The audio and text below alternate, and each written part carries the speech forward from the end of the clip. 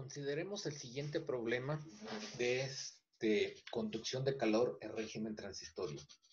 El problema consiste en lo siguiente.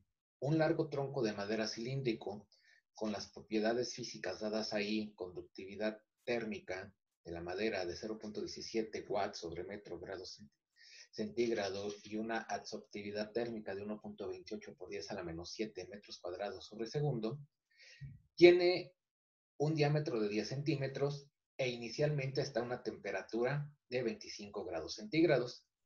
Este tronco se va a exponer a gases calientes a 600 grados centígrados en un hogar, en un horno, por ejemplo, con un coeficiente de transferencia de calor por convección de 13.6 watts sobre metro cuadrado grados centígrados sobre la superficie.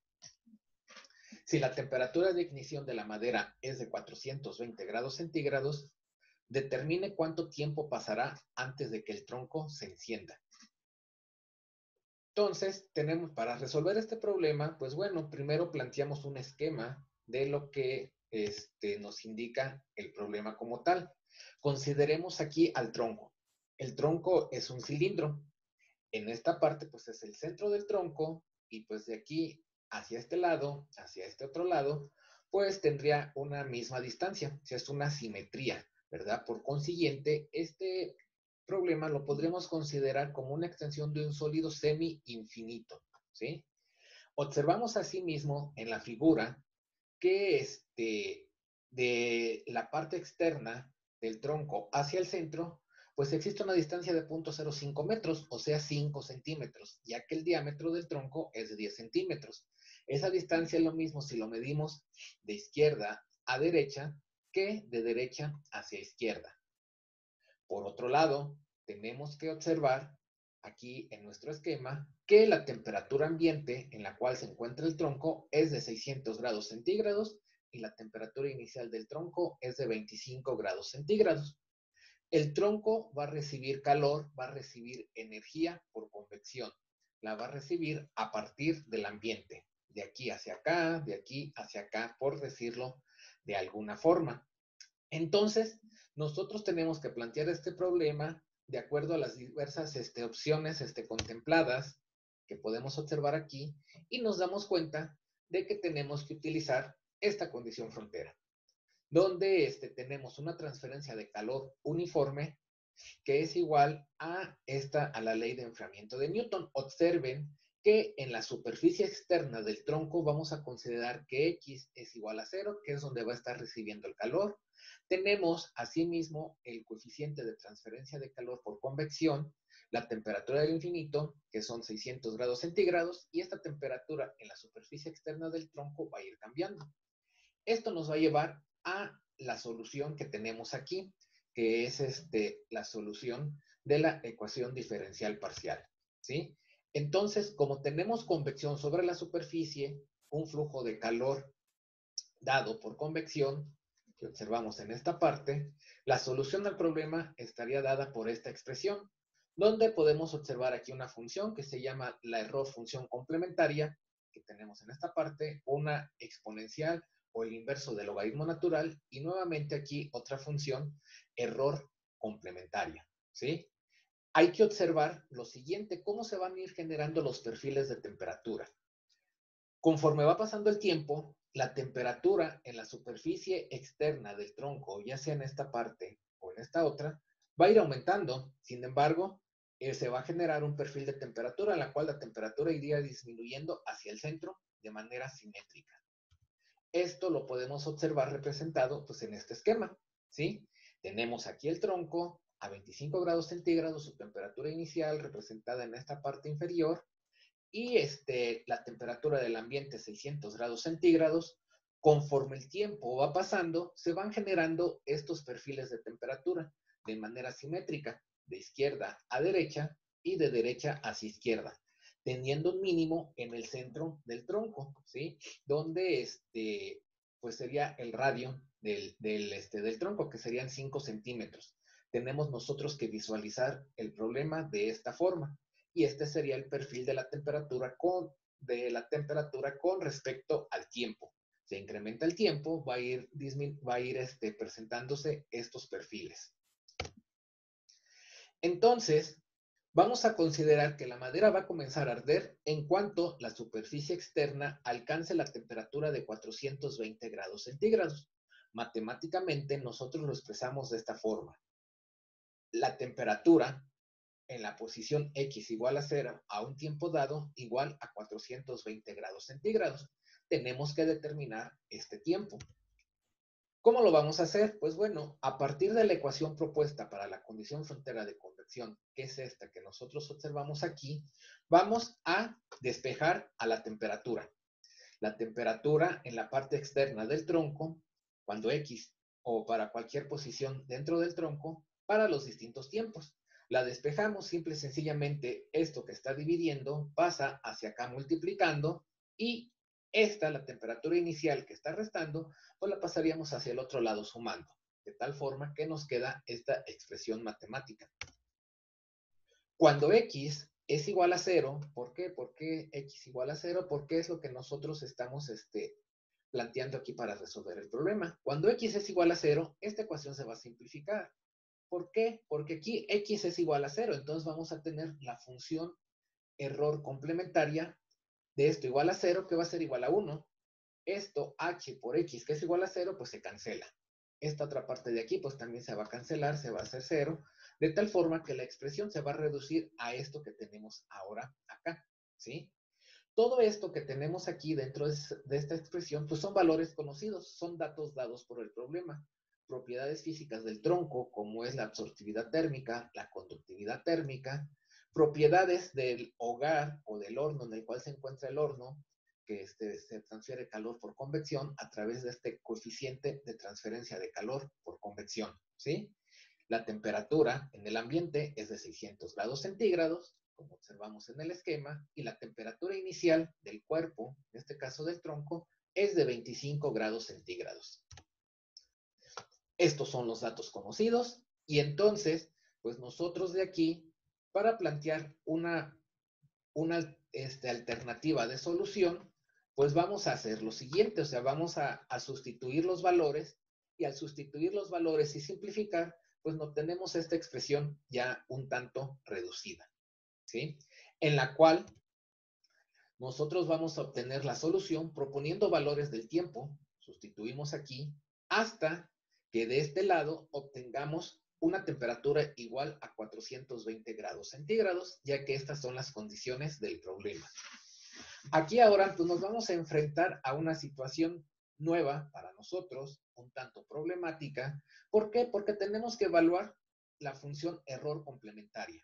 Este es un valor que nosotros podemos calcular al sustituir el tiempo, pues bueno, Aquí tenemos un valor y, tenemos que calcular la función de error complementaria. Lo mismo aquí, sin embargo, pues esta operación es relativamente sencilla. Es el inverso del logaritmo natural, el exponencial o el Euler de un valor, como ustedes prefieran nombrarlo. ¿Cómo podemos determinar la función error complementaria? Dependiendo del valor que nos haya dado aquí, pues tenemos dos alternativas. Una de ellas es utilizar esta tabla encontramos el valor para evaluar la función error complementaria y en esta tabla, pues este, leemos el valor. Muy probablemente tengamos que hacer una interpolación. O bien, si tenemos la facilidad de utilizar una hoja de cálculo Excel, en ese caso, pues la, la, este, la instrucción con la cual evaluamos la función error complementaria, pues es esta que tenemos aquí anotada donde dentro del paréntesis pues anotamos el valor de, al cual queremos este, determinar la función de error complementaria. Haciendo eso, pues bueno, tenemos este, que hacer el cálculo, como habíamos dicho anteriormente, ¿cómo vamos a determinar el, el valor del tiempo? Pues vamos a proponer tiempos, ¿sí? Y evaluamos la función hasta que nos dé 420 grados centígrados.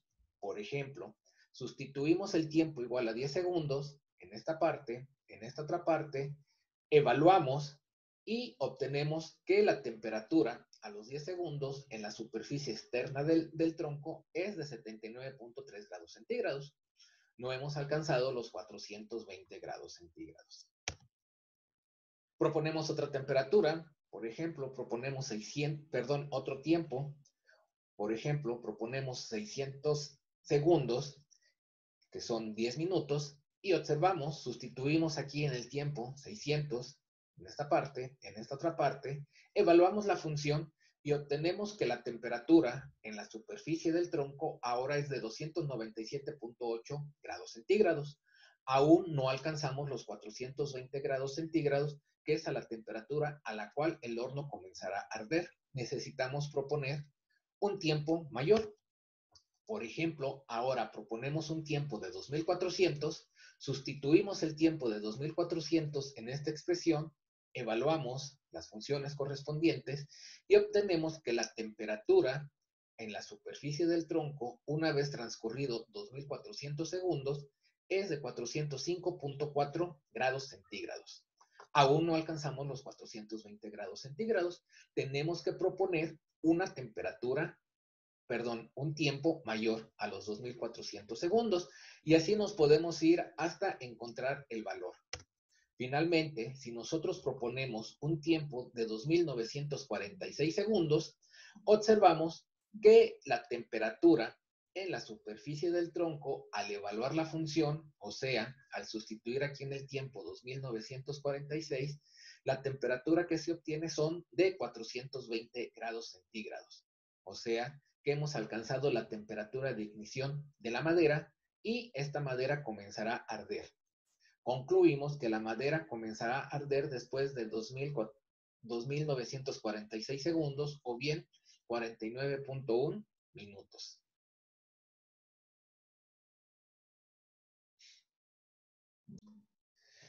El cálculo se nos puede facilitar si nosotros desarrollamos una hoja de cálculo aquí en Excel, por ejemplo.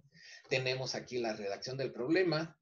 Ya habíamos definido que este, este es un problema con una condición, con una con, condición frontera de convección en la superficie, lo cual nos lleva a esta solución de la ecuación diferencial parcial planteada para determinar los perfiles de la temperatura en función del tiempo y de la posición. Despejamos a la temperatura, como lo vimos previamente, llegamos a esta expresión y pues bueno, podemos evaluar esta expresión. Para poder evaluar esta expresión es necesario conocer las propiedades físicas del cuerpo, en este caso es la madera. Anotamos aquí en estas celdas, por ejemplo, la absortividad térmica, la conductividad térmica, y asimismo anotamos el coeficiente de transferencia de calor por convección que está ocurriendo dentro del hogar o del horno en el cual se ha colocado el, este, el tronco. Las condiciones iniciales de nuestro problema es que la temperatura inicial del tronco es de 25 grados centígrados y la temperatura en el ambiente, en el horno o en el hogar, donde el cual se encuentra la madera, es de 600 grados centígrados. Entonces, pues nosotros evaluamos aquí este, la función, esta que tenemos de este lado, ¿sí? Ponemos aquí, por ejemplo, que para un tiempo de 10 segundos, una posición X igual a cero, pues bueno, aquí este cuánto este, nos daría la temperatura, ¿sí? En la superficie del tronco. Colocamos aquí la instrucción, ¿sí? Todo esto para poder evaluar esta parte de acá en función de las propiedades físicas y de las condiciones iniciales. Teniendo planteado esto, pues yo puedo proponer diversos tiempos hasta alcanzar la temperatura contemplada. Por ejemplo, a los 10 segundos, pues se observa que la temperatura en la superficie del tronco es de 79 grados centígrados. Yo puedo incrementar este tiempo, ponerle ahora, por ejemplo, 100 segundos. Observamos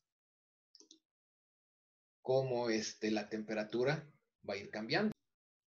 Por ejemplo, al haber anotado 100 segundos, pues observamos que la temperatura ahora va a ser igual a 172 grados centígrados.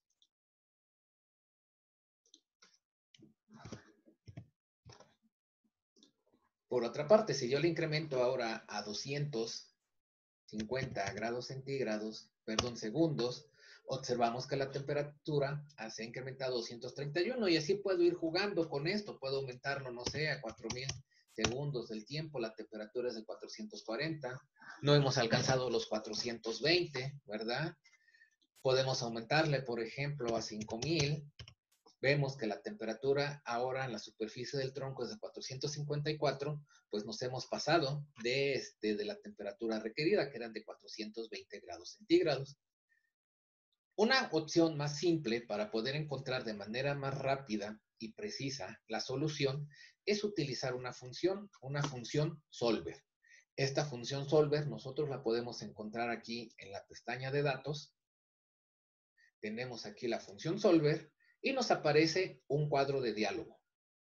En este, cuadro, en este cuadro de diálogo, pues nosotros lo que vamos a hacer es una rutina de optimización en la cual vamos a establecer un objetivo, una función objetivo.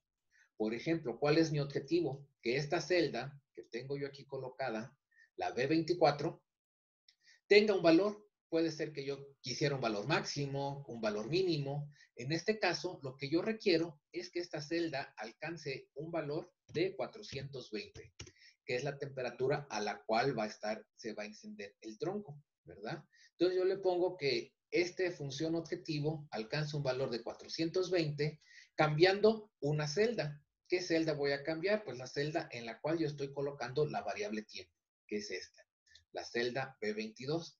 Le pido al solver que me resuelva este problema, comienza a hacer los cálculos correspondientes ha encontrado la solución y encuentro que la solución es 2.946 segundos, tal y como lo establecimos previamente.